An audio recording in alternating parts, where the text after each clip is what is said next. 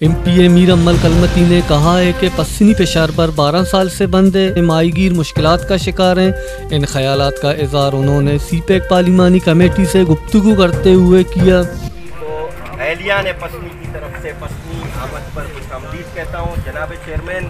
آپ اور آپ کی کمیٹی پچھلے تین دن سے گوادر میں بیٹھ کر میرے خیال سے واحد کمیٹی ہے جو جو لوگوں کو سن رہی ہے، یہاں کے مسائل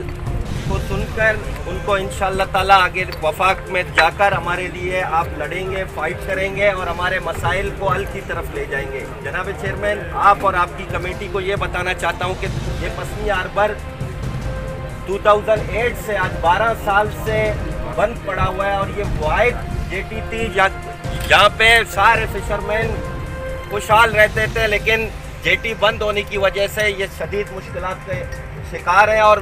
کوئی ان کی سنوائی نہیں ہو رہی بارہا کہتے رہے کہتے رہے کہتے رہے لیکن اس کے باوجود بھی اس کی ڈریجنگ اسٹارٹ نہیں ہوئی اس کی ڈیزائننگ ہو چکی تھی پہلے اور اس کے لیے جاپان نے گرانٹ بھی دیا تھا لیکن وہ گرانٹ پتہ نہیں کہاں چلا گیا اور ابھی تک ان کا کام بند ہے۔ میری آپ سے ریکویسٹ ہے علیہ نے پسنی اور یہاں کے مائی ہیرو کی طرف سے کہ آپ وفاق میں جائیں گے اس دفعہ اسلام آباد تو ان کے لیے فائٹ کریں گے اور انشاءاللہ تعالیٰ جب آپ فائٹ کریں گے تو میں سمجھتا ہوں کہ ان کا پسنی آربن کی باری کا کام جلد جلد شروع ہوگا۔ ایک دفعہ پھر آپ اور آپ